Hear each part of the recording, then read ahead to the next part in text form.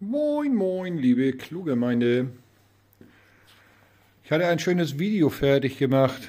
Das war aber leider auf dem Kopf. Vielleicht stelle ich das irgendwann noch mal rein, wenn ich das wieder umgedreht kriege. Irgendwie funktioniert das nicht auf dem Handy. Ist halt ein neues Handy.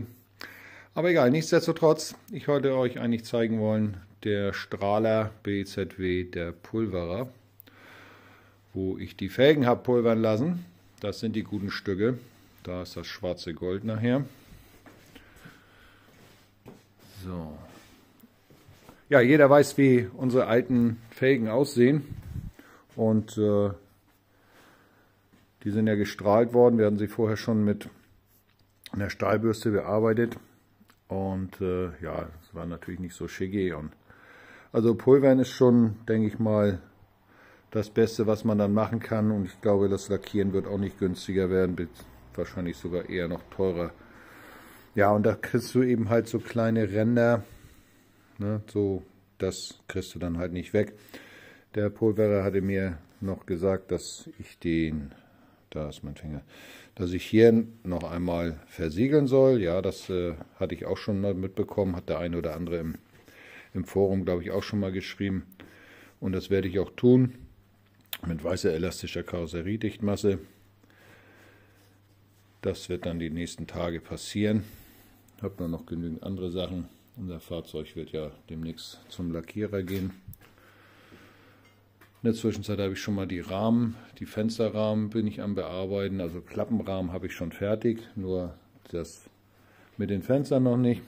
Alle neu lackiert. Und dann wird als nächstes kommt hier noch Reifendruckkontrollsystem rein. Kleinen Moment noch.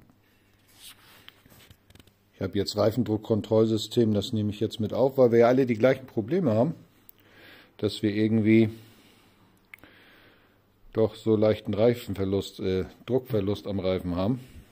Und ja, die Dinger kommen dann wie gewohnt dann von unten rein. Dann habe ich einen Trigger dafür, dann werden die angetriggert und dann hat jeder seine, seine Zuordnung, jeder Sensor. Und das Ganze ist dann ablesbar über Bluetooth also übers Handy, über eine App. Und da werde ich mich mal mit auseinandersetzen in den nächsten Tagen. Und dann werde ich da mal ein separates Video von machen. Ja, Reifenentscheidung habe ich äh, mich für den Schweden entschieden. BZW Norweger für Nokian. Äh, ich habe selber Nokian schon an mehreren Fahrzeugen gefahren und muss sagen, war ich bis jetzt immer sehr mit zufrieden. Für mich sind bei Ganzjahresreifen immer, ach so, ich kann das ja auch so lassen, ich kann mal das Reif, den Reifen mal drehen. So, für mich ist immer wichtig, erste Priorität, Nässeverhalten, Nässe, Schnee, Verhalten. Das ist für mich wichtig. Und da gehe ich, egal für was für ein Auto, für was, für wen ich was bestelle, nicht unter B. Beim Kraftstoff ist mir das eigentlich relativ mumpe. Bei unseren Ivecos so oder so. Gut, die dB-Zahl, da wird sich auch nicht viel ändern. Also da wirst du kaum einen finden, der irgendwie weit unter 70 liegt. Kannst natürlich auch ins oberste Regal greifen und vielleicht hast du dann Glück, dass du bei Michelin oder Goodyear sowas bekommst. Ja, ich finde die aber ganz nice und ich verspreche mir da mal wieder sehr viel von. Die haben sehr guten Schnitt und dementsprechend kommen die schwarzen Goldstücke dann demnächst auch rauf. Aber wie gesagt, da mache ich nochmal ein separates Video von und auch mit der App, wie das funktioniert. Und dann schauen wir mal. Somit wünsche ich euch erstmal noch einen schönen Tag. Aber bevor ich jetzt hier aufhöre,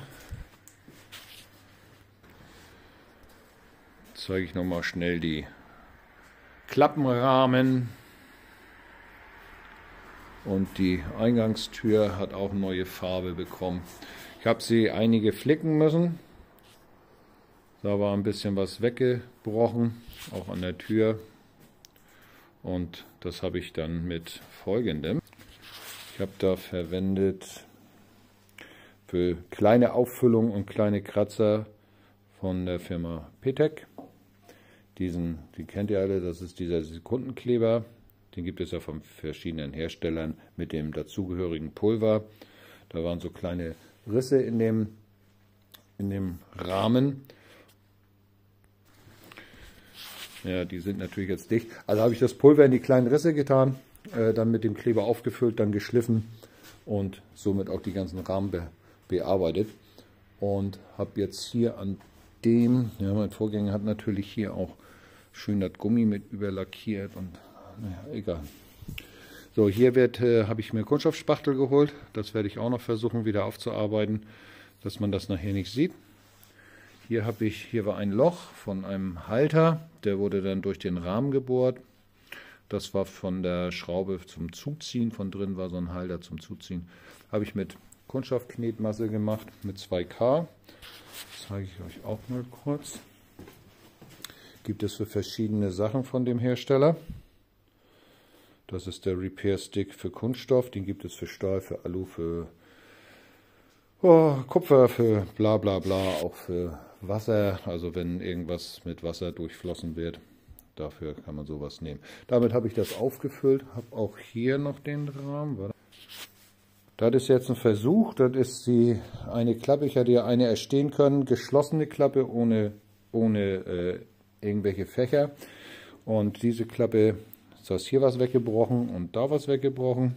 Und das ist jetzt ein Versuch. Mal sehen, ob ich die hinkriege. Weil wenn, dann setze ich die rein. Die vom Rahmen her sieht die dann doch noch ein bisschen besser aus. Im Allgemeinzustand, wenn ich das hier wieder hinbekomme, aufgefüllt bekomme. Da schauen wir mal. Und nicht durchhalten lassen ein paar Tage. Und dann gucke ich mal, ob das funktioniert. Werde ich berichten. Jetzt soll es aber auch gut sein. Ich wünsche euch noch einen schönen Tag, schöne weitere Adventszeit. Bis dann. Tschüss.